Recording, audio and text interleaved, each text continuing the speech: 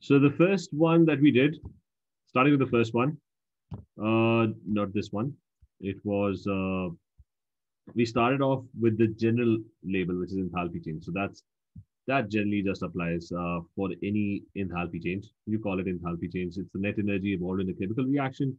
If you're talking about the enthalpy change of reaction, where there's a small r written and standard is, so that means you're measuring it under standard conditions. R means that uh, if you're calculating the enthalpy change of this reaction, then it has to be exactly four moles reacting with five moles of O2 to produce two moles of P2O5. So that's enthalpy change of reaction.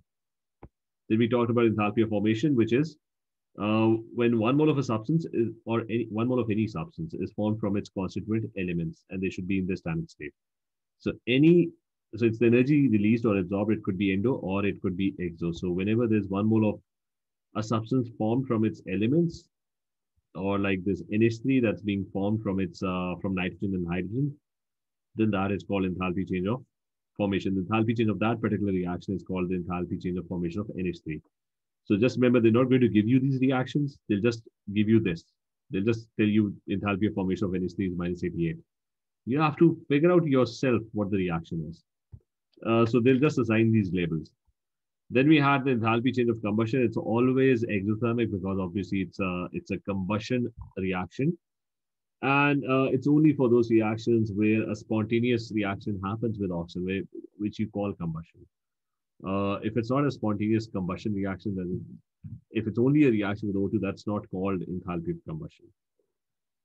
Now, it's the energy released when one mole of any substance is, is burned in excess oxygen under standard conditions. If it's a not on top of it, so one mole of hydrogen burning, that's enthalpy of combustion of hydrogen. One mole of ethanoic acid burning, that's enthalpy of combustion of ethanoic acid. One mole of sulfur burning, that's enthalpy of uh, combustion of sulfur. What you should know is what are the products going to be.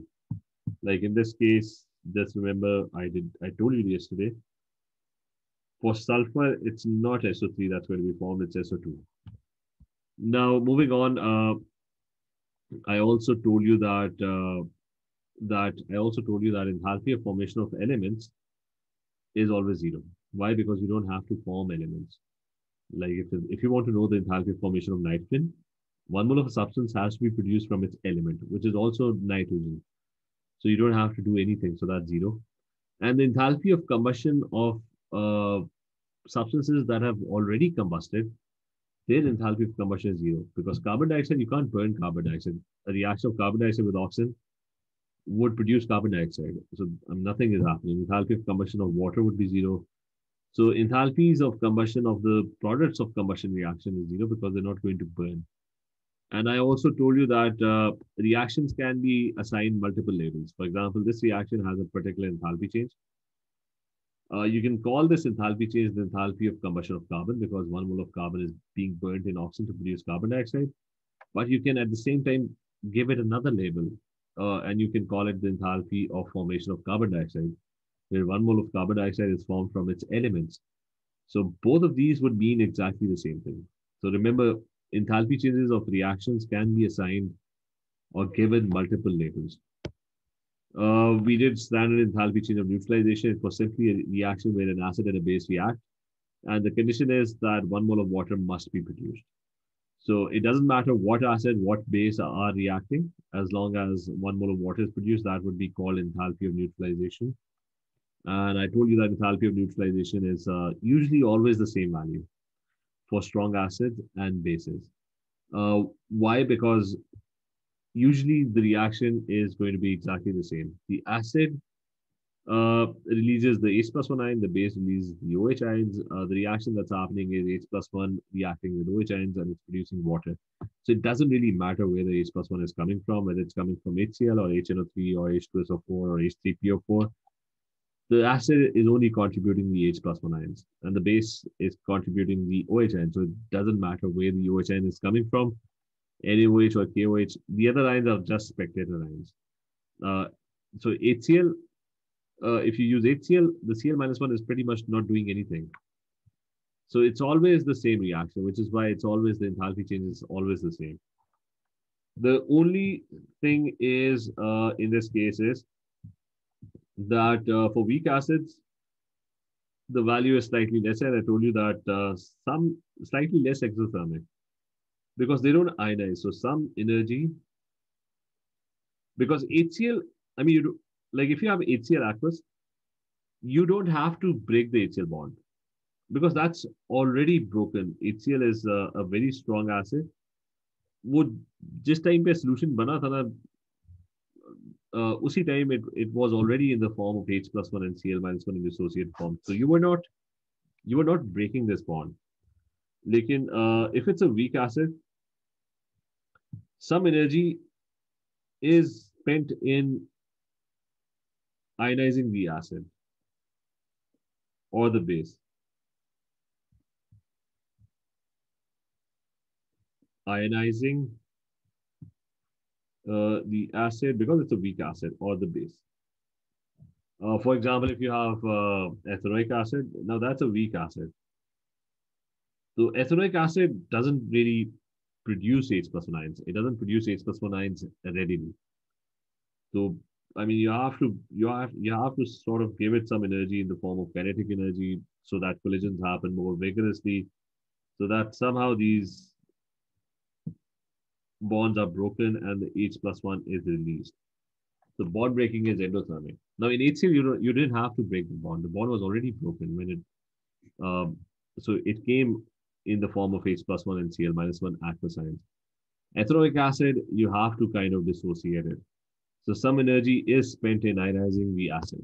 I mean, you would probably, if, if it's ethanoic acid reacting, the reaction would probably not go to completion until you heat it so that the ethanoic acid molecules they break down and they produce H plus one ions.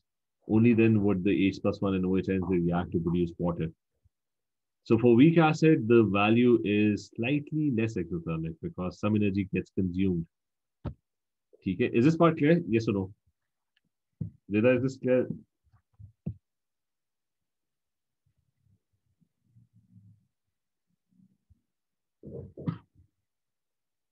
Now, moving to the next part, another enthalpy change definition, and that is another important one, and that is enthalpy change of atomization, standard enthalpy change of. So standard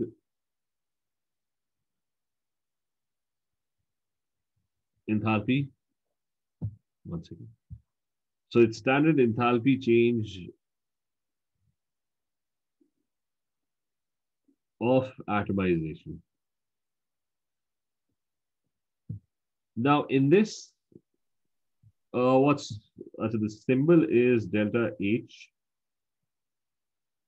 and there's going to be a small 80, a small 80, usually not make it kind of smaller. So small 80 uh, is written. Sometimes it's 80 OM that's written, but usually it's just A and T.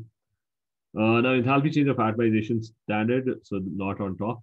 Uh, and it's always, always positive. It's always positive. It's always endo. Now, as the name suggests, you're making atoms. So it's the energy needed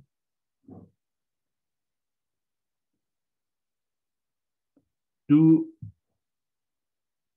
form one mole of gaseous atoms. So to form one mole of, actually remember, uh, when we say gaseous atoms, it doesn't mean, when we say gaseous atoms, when you have broken all the bonds between atoms, uh, that is when the substance is always in gaseous state. I mean, if you have a bunch of atoms and they're bonded to each other, then obviously uh, they're attracted to each other. It's not, and there would be a, there would be some form of attraction between them. So they're not going to be in gaseous state. But once you have broken all the bonds and the atoms are far away from each other, then those single atoms, because they're not interacting with anyone, they would be in gaseous state. They would be free to move around.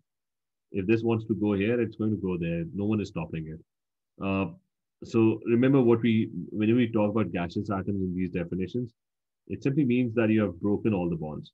So it's energy uh, needed to form one mole of gaseous atoms from the element in its standard state.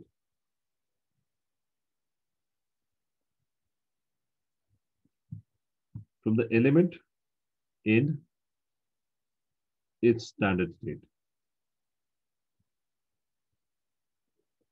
And it's going to be measured under standard conditions. Measured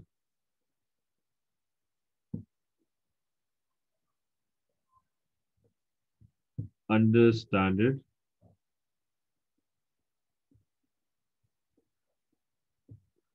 So uh, in this reaction, this is any reaction that produces one mole of gaseous atoms from the element.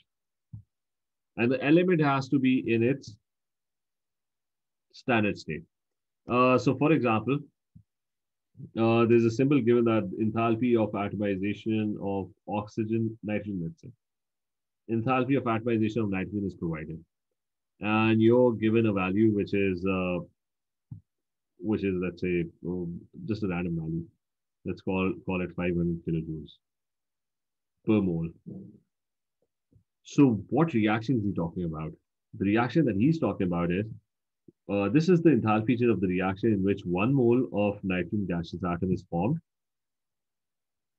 from its element uh, and the element has to be in standard state. What's the state of nitrogen under standard condition? It's going to be, it's going to be N2.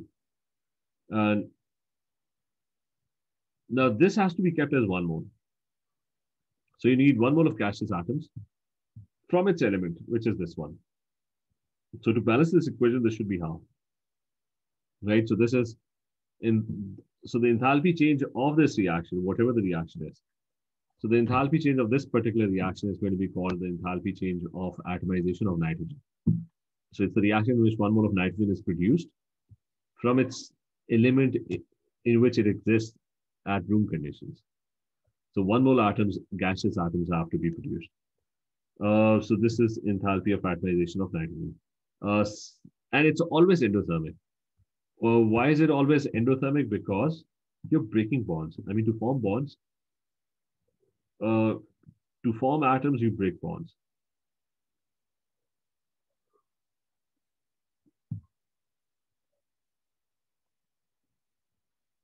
And breaking bonds is endothermic. It requires energy. So it's always, always endothermic. Uh, let's do another example. Let's say I have enthalpy of uh, enthalpy change of atomization of, uh, so that's, this is example one. Now example two is I, uh, they're talking about enthalpy of atomization of iodine just one single ID. And the value that's provided is, let's say, 298, 288 kilojoules per mole, hypothetical value. Uh, so this is given. So what reaction is he talking about? He's talking about the reaction in which one mole of iodine gaseous atom is formed. So one mole of iodine gaseous atom is formed from its element. The element under standard conditions, room temperature, iodine as an element exists as a diatomic I2 molecule and it's a solid. And this has to be half because I have to keep this as one mole. So the enthalpy change of this reaction is going to be called the enthalpy of atomization of iodine. And similarly, you can uh, pretty much uh, do enthalpy of atomization of any element. Uh, the enthalpy change of atomization of, uh, let's say, sodium would be uh, that is going to be called, what reaction is this? This is the reaction which one mole of sodium gaseous atoms are formed from its element. So what is the element? It's metallic sodium. So what you're basically doing is uh, you're breaking the metallic bonds in sodium. I mean, initially, so you're breaking the metallic bonds in sodium right? So uh, that's how uh, that's this is enthalpy of hybridization. Is this clear to everyone? Yes or no? Heba, Rida, uh, is this clear? Now, uh, now the next thing is that you have, now this is enthalpy of hybridization. Now the next thing is that you have uh, और इसी के बारे में ठीक है a few more things one is that if an element has strong bonds अच्छा पहले तो some uh, noble gases enthalpy of atomization is zero now that's obviously zero because the element मतलब बाकी elements होते हैं they always bonded to each other I mean bonded to themselves sodium जो होता है वो metallic होता है it's forming metallic bonds with other sodium atoms nitrogen का molecule होता है उसमें दो नाइट्रोजन के atoms जो होते हैं they bonded together iodine का जो element होता है that's two iodine bonded together so most of the time elements are carbon को देखो तो वो graphite के structure में या diamond के structure में carbons are bonded together now the thing with noble gases is that noble gases don't bond so that, that's fairly obvious. So you, you're not even breaking any bonds. The enthalpy of atomization for uh, would be equal to zero. Uh, they're monoatomic, monoatomic gases. And absolutely no bond needs to be broken to form atoms.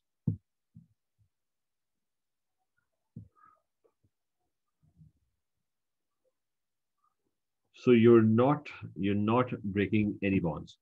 Okay, so that's that's noble gases. Uh, the next is uh, the next point about this is if the element has strong bonds,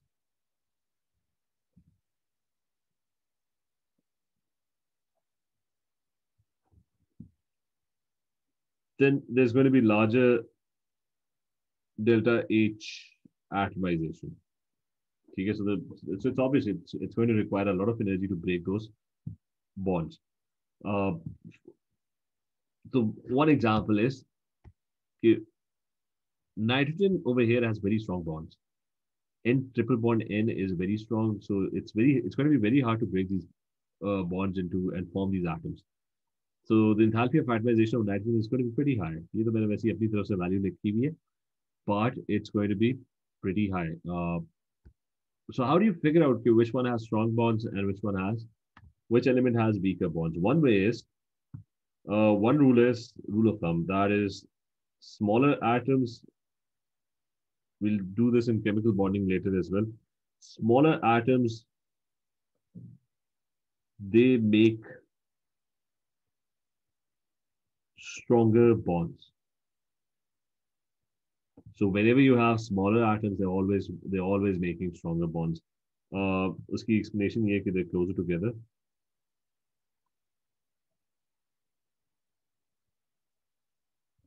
And plus, uh, nucleus is less shielded.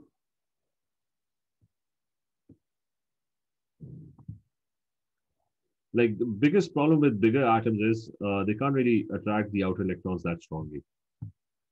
So the closer together nucleus is less shielded. For example, if you have uh, fluorine and there are two fluorines bonded together and there are nine protons in the, in the fluorine nucleus,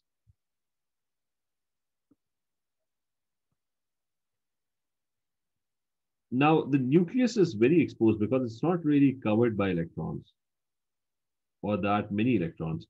There's just nine electrons.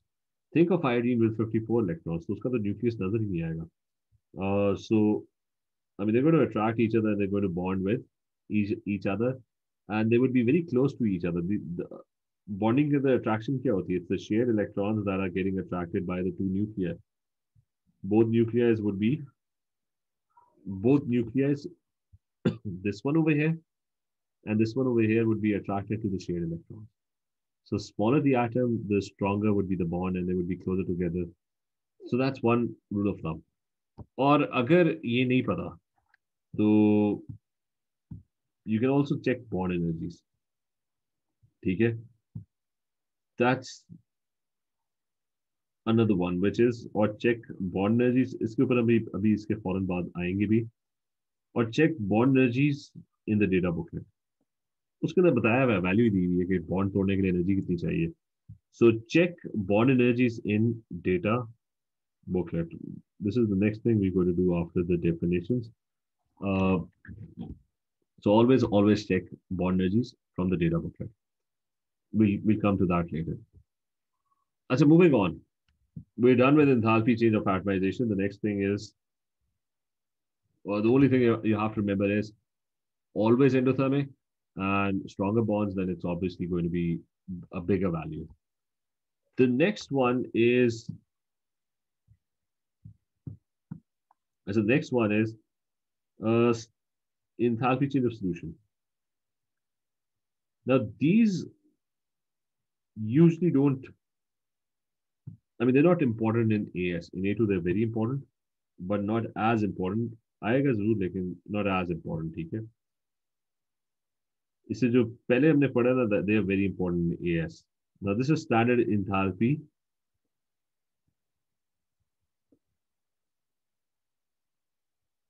Change of solution. Now, as the name suggests, uh, it's simply a substance that is, I mean, you're dissolving a substance. So it's, and it could be endo or, or exo. It's, I mean, you're not sure. It, I mean, it depends. It varies from substance to substance because in this case, it, it involves both bond breaking and bond formation. I explain to you how do things dissolve. So they, it involves both bond breaking and bond formation which is why uh, it could be it could go either way. If bond breaking requires a lot of energy, then it's, it's going to be highly endothermic. If uh, bond breaking is less endo, and the bonds that it forms with water or the solvent, that's a solution. Whenever we talk about solution, we're talking about about an aqueous solution. Whenever you talk about enthalpy change of solution. So you're not dissolving it in ammonia, you're dissolving it in dissolving it in water. So enthalpy, standard enthalpy change of solution. Now this one is definition pehle. Uh, it's the energy evolved or released or absorbed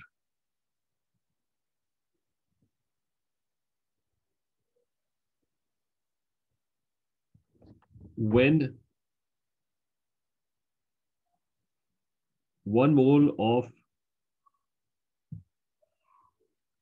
uh, of any solute uh, completely dissolves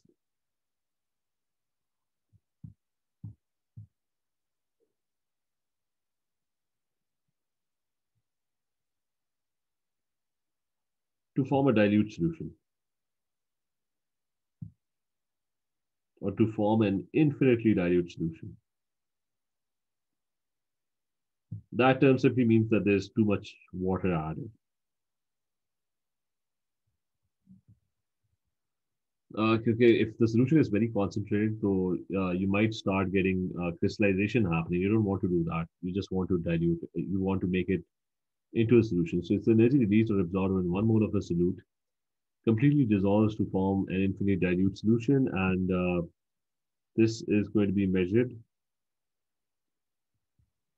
under standard conditions.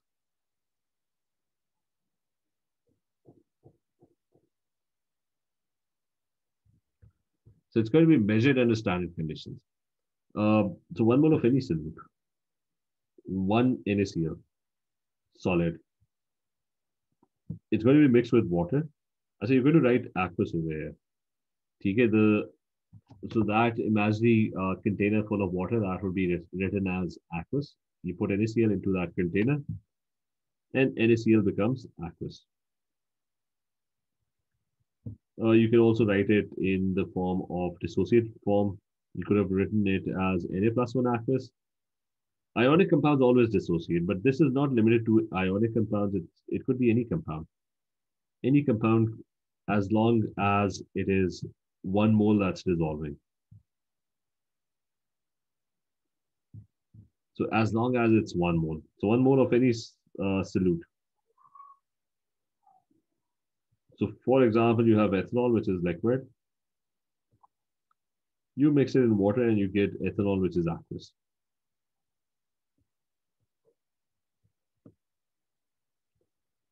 So that is also now, ethanol would not dissociate. Ionic compounds usually, we can write a point.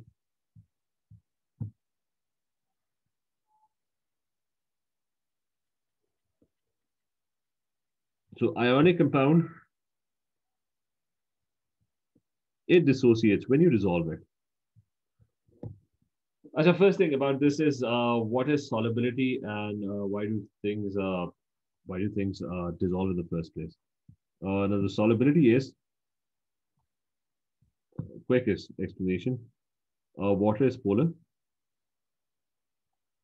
So our solvent is water at the moment. Water is a polar molecule, so water. Hence, it attracts and mixes with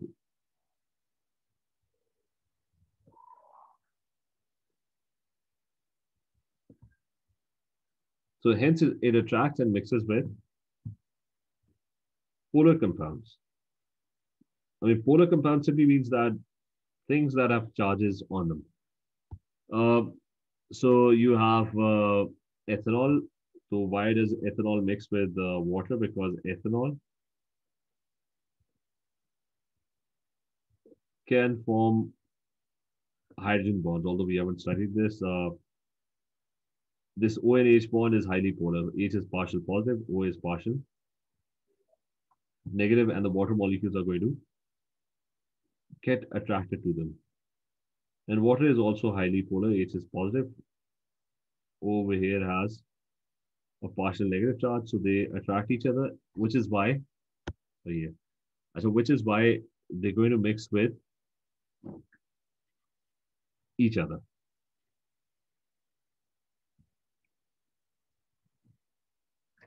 So, anyways, uh, so the thing is, uh,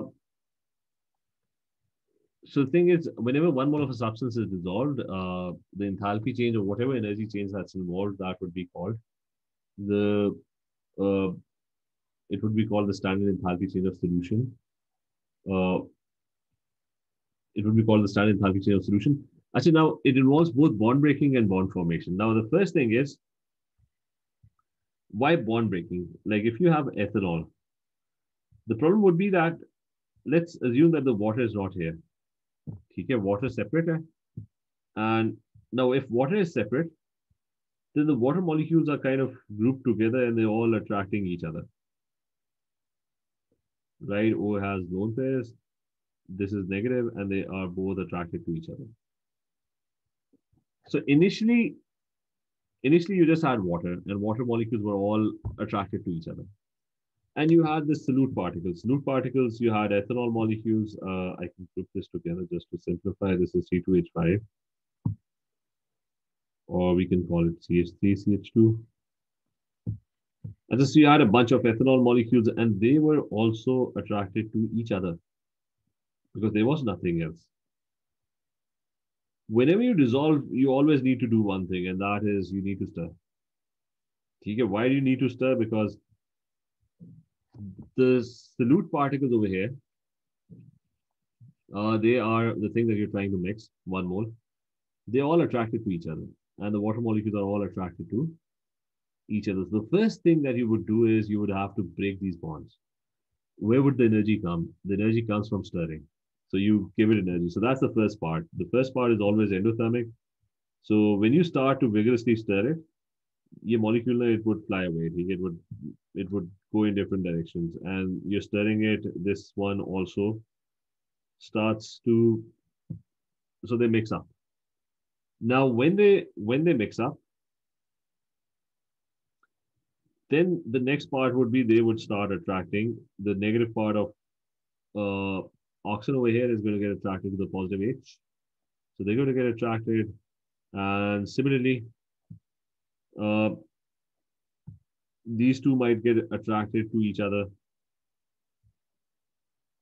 So the H might get attracted to the lone pairs and they can they can get attracted. So new bonds would be formed and they would rearrange themselves in a new way. So it, it involves both things you have to break the old bonds first. So that is why you stir.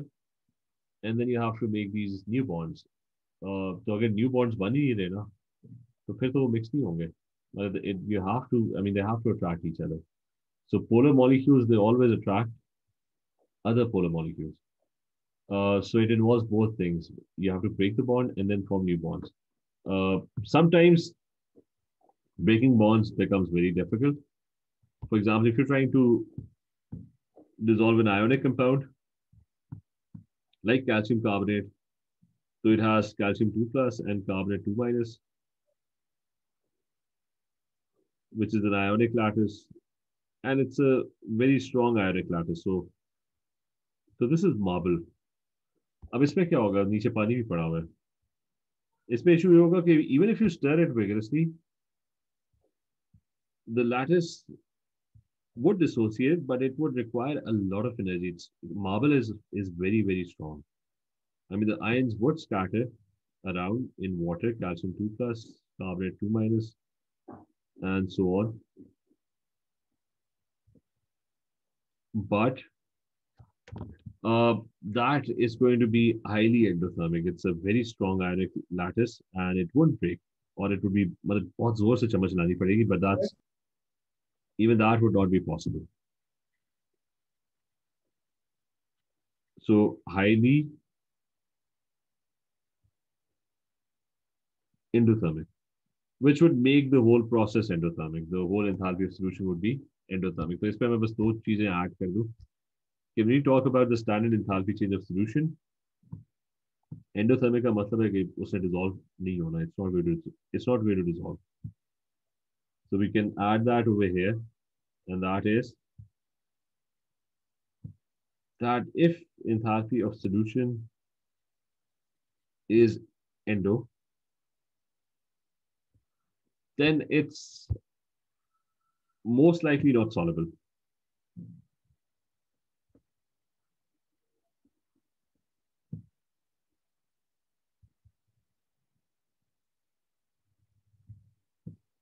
Or it's going to be soluble if you give it a, give it a lot of energy.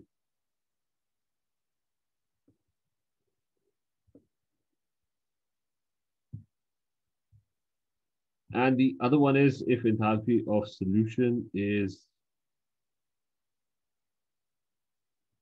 if enthalpy of solution is exothermic, then it's most likely to be more likely to be soluble. which means it's going to be soluble. And it's also going to be more soluble at low temperatures. It's producing energy. So if you're if you're taking away energy at low temperature, then it's going to be more soluble. ये सारा clear है रिबा हिबा रिदा Hiba is this clear?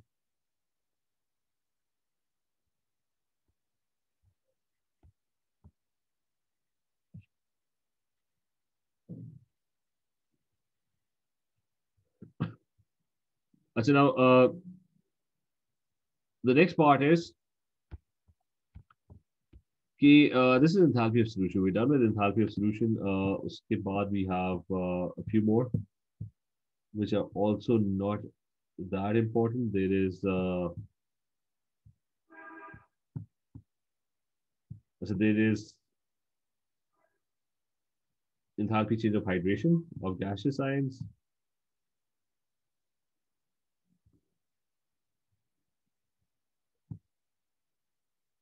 this is standard. Again, this is also more important in A2. Question आ जाएगा definition के ऊपर otherwise not any major question focusing just on this. So standard enthalpy change of hydration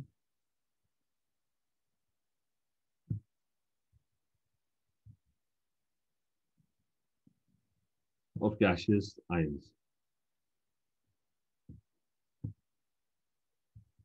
Now this one is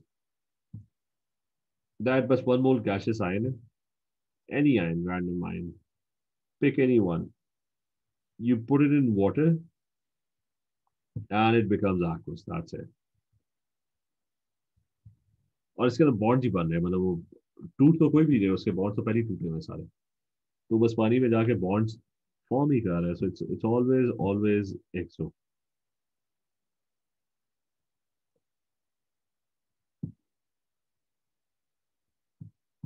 so only bond formation taking place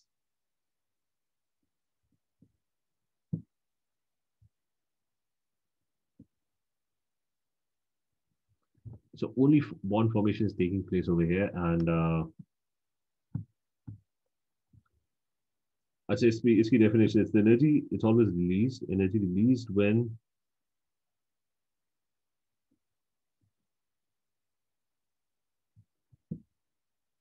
one mole of gaseous ions are completely surrounded by water molecules.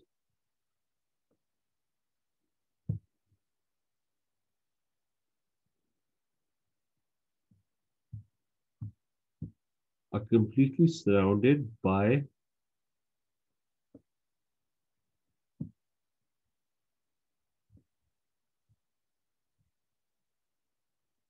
So they're completely surrounded by water molecules and uh, so energy released from one mole of gases are completely surrounded by water molecules to form one mole of aqueous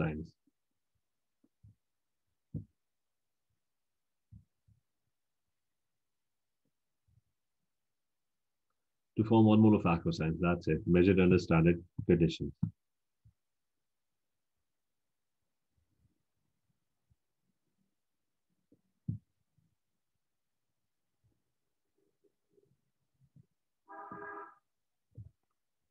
I see, Sorry. Uh, so it's just one mole of any random ion. You put it in water and it forms an aquascience. So you're basically just dissolving it. Actually, Sarah, so हो गया just let me quickly confirm के lattice energy इसमें तो नहीं डाल दिया अभी latest syllabus में 2021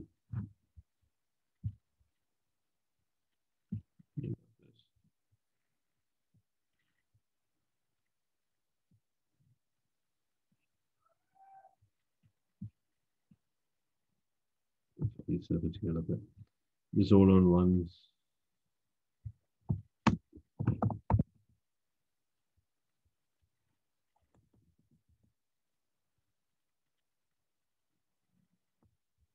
ठीक है दिस इज द 2021 सिलेबस और डेफिनेशंस की बस लिस्ट एक दफा देख लें अच्छा यहाँ तक क्लियर है हेबा इज दिस क्लियर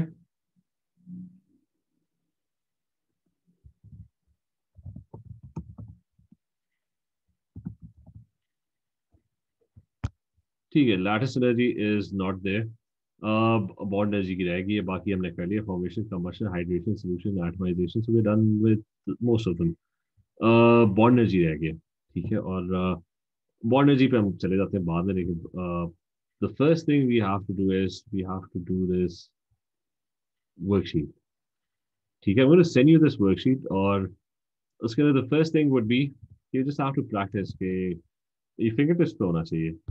कि if you if you are given enthalpy of formation of CH4 so so, uh, ये मैं पोस्ट कर दूँगा उसके ऊपर there is the MCQs as well at the end end theory questions as well मतलब इस spreadsheet के अंदर ना थ्योरी के क्वेश्चंस भी सारे।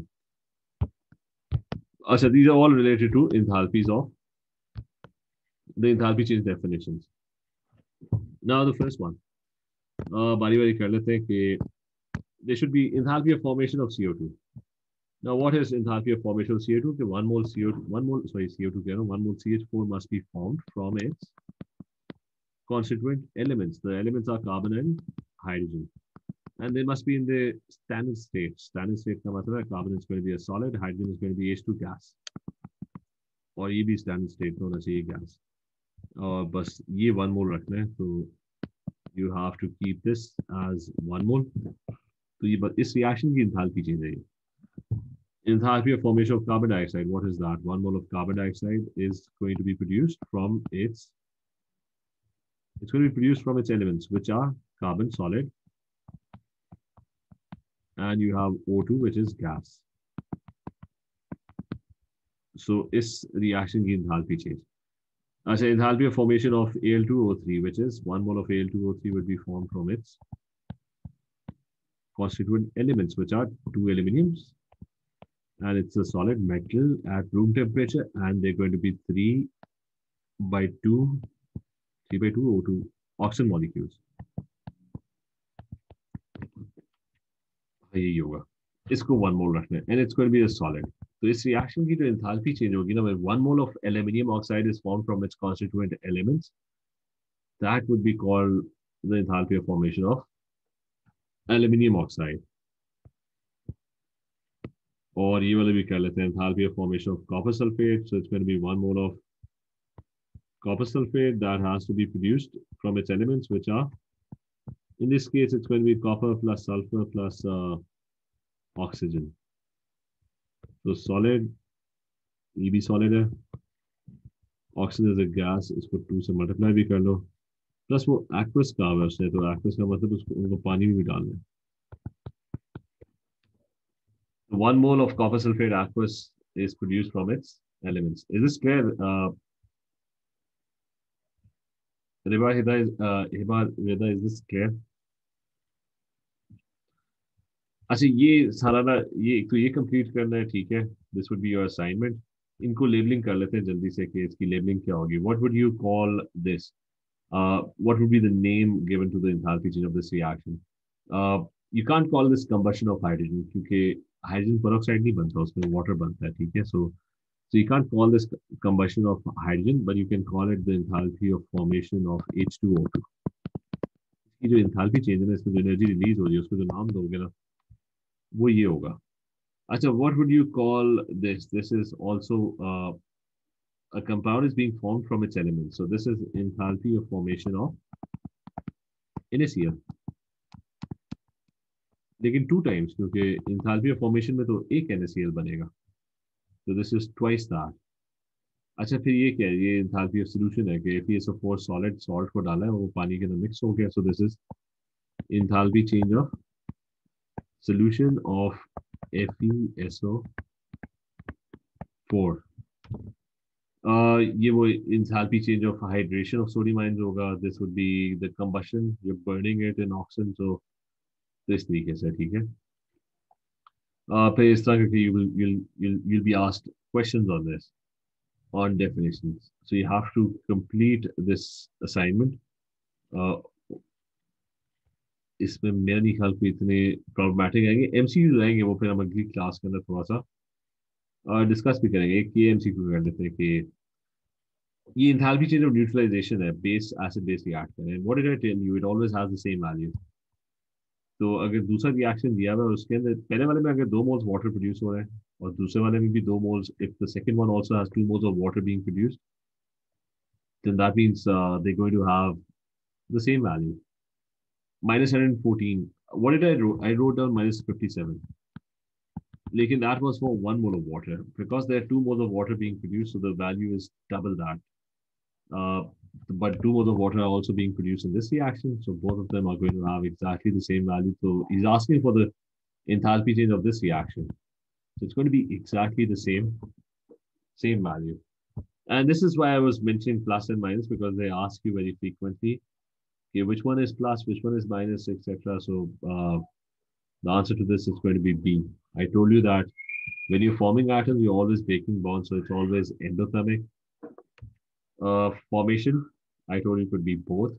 Solution, I told you it could be both. I wrote down reasons for that as well. So try and go through this worksheet. Do you have any questions about this? Heba, are there any questions?